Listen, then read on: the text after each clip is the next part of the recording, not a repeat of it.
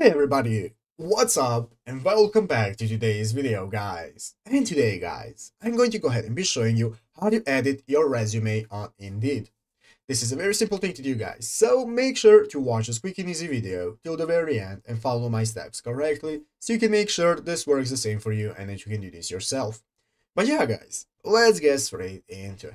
So guys, the first thing you want to do is go ahead to the official Indeed.com website right here. And after opening up the website, you'll be greeted by this main page right here, where you'll be able to see that you can log into your account by clicking the sign in button right here that appears in the upper right corner. So guys, you'll be able to edit your resume. The first thing you need to do is go ahead and log into your account. So go ahead, click on sign in and log into the account where you want to edit your resume.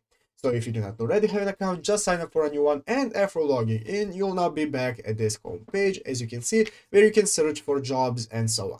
So guys, now let's go ahead and see how you edit a resume. So guys, if we have already edited a resume, then this is how you edit it. We can go ahead and click on our profile icon right here in the upper right corner.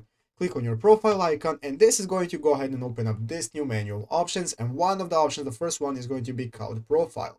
So you want to guys go ahead and click on the profile option right here Click on profile and it's going to now open up this new web page where you can see you have options to manage your profile and the first option is resume where you can go ahead and upload your resume or build an Indeed resume.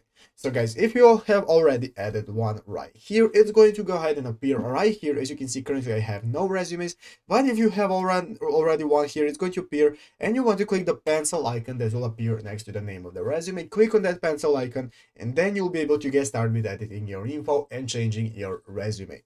But yeah, guys, basically that is it how to do it. So I hope this video was helpful. If it was, make sure to leave a like, subscribe to the channel. So guys, thanks for watching, take care, and bye.